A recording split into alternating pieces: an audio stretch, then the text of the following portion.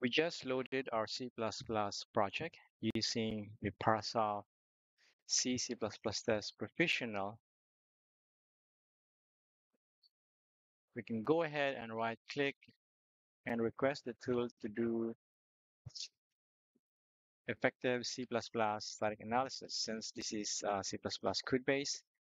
And right here we are at um,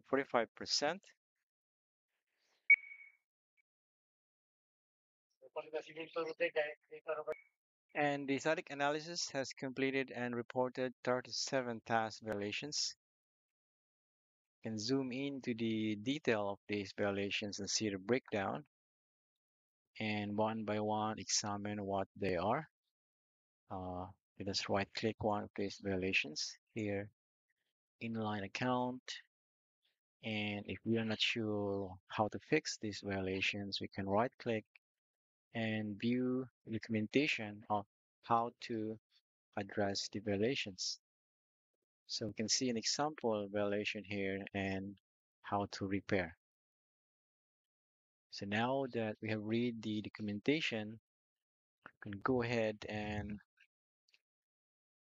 make the necessary repair. I'll copy this code base here and transfer the the constructor here in the CPP file.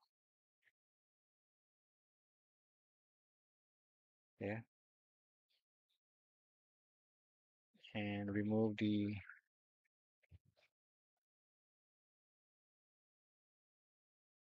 inline keyword.